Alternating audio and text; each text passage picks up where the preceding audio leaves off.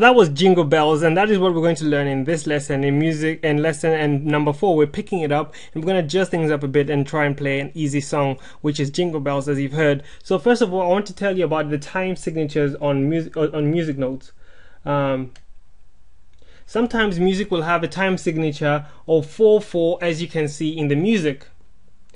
This 4 4 tells you there's four crotchet beats in a bar four crotchet the number four at the bottom means crotchet beat. A crotchet beat is a standard way of counting. Sometimes we have different numbers and they'll tell you how long each count is and the number on top tells you how many counts you're going to have in each bar. So this one is telling you four before there's going to be four counts in this bar. Sometimes though you may get a, a different set of counting. For example you may um, let me take away the four four and let's add uh, a, a different let's say uh, sometimes you may get two four inside your music. So we have 2 4. 2 4 means we're going to count 1 and 2, 1 and 2, and 1 and 2, and in each bar. Other than 2 4, we can also get uh, timings like 3 4. So that is 1 and 2 and 3 and 4. Uh, sorry, 1 and 2 and 3 and 1 and 2 and 3 and 1 and 2 and 3 and. But in the song we're going to be learning today, we're going to be using four crotchet beats in each bar. So like I told you, the four at the top tells you how many uh, counts in each bar, and the and the four at the bottom tells you the value of each count. So we have one and two and three and four. So which notes are we going to be dealing with? Now let's start to add some some some music notes into into the, into um into our sheet music. Okay, we're now ready to add some sheet, sheet uh, notes into our sheet music. So uh, let's start with C let's start from the very bottom. So that note there, C, in your left hand, play that with your pinky. The very next note up. Remember, music is written on the line or in between the lines. That's all. D, and it's logical because as as we go up, we're going up on the keyboard. That's E. The next one is F. Next one is G. A. B. C.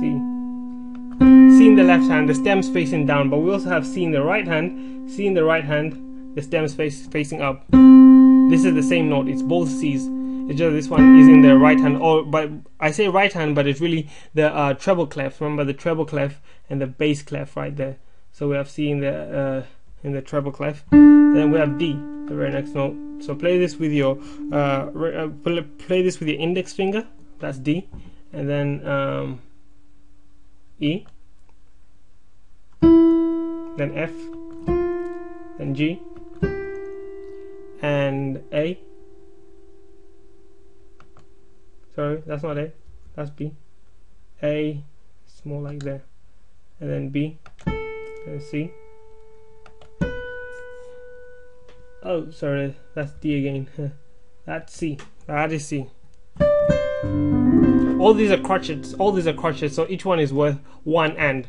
So um, if I'm going to count that for you we're gonna go one and two and three and four and. So we have four and again we start one and two and three and four and.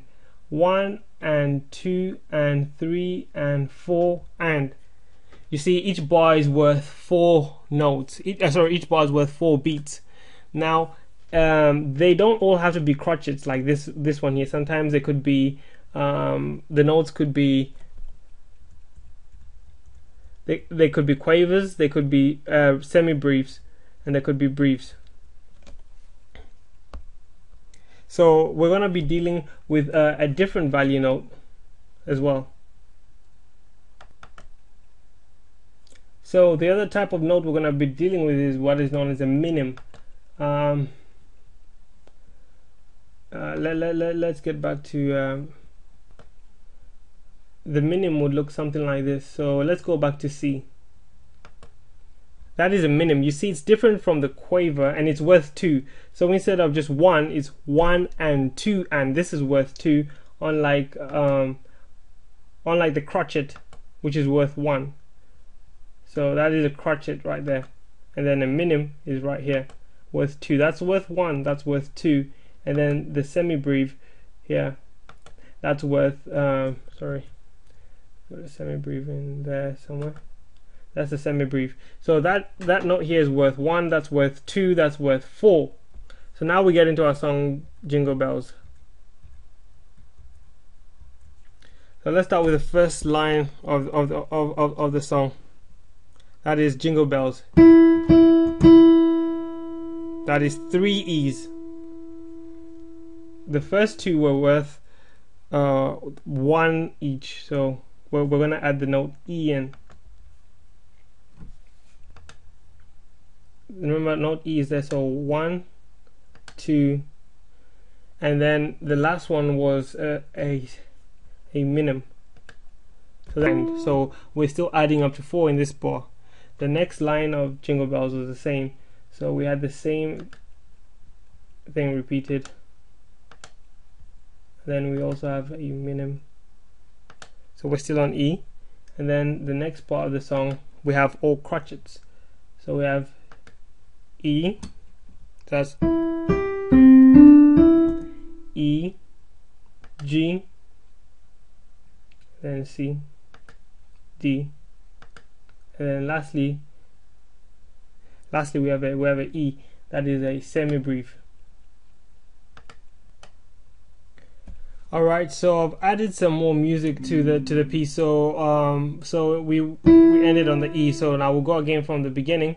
Uh, let me just like use the mouse director. So we'll start from there. E E E E E E.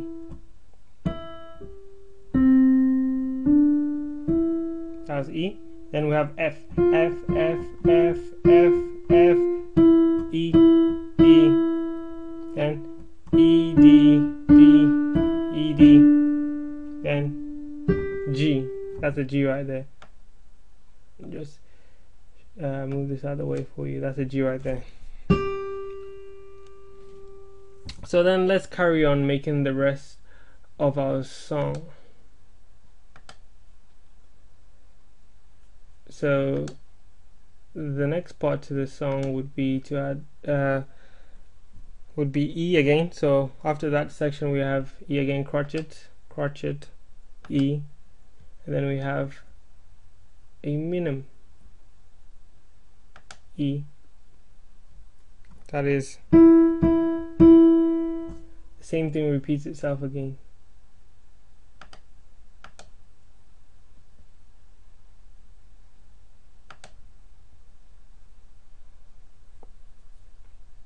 and if you remember this is just like the first bit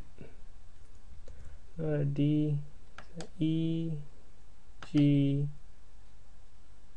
C notice this is all in the right hand.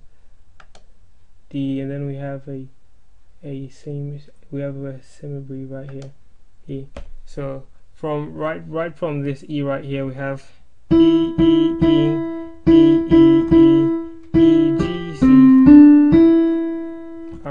cool.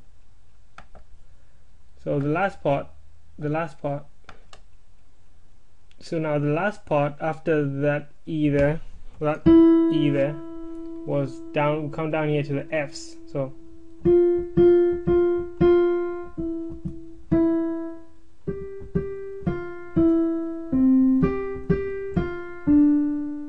D before the before the E so instead of having this note right here we'll have a D.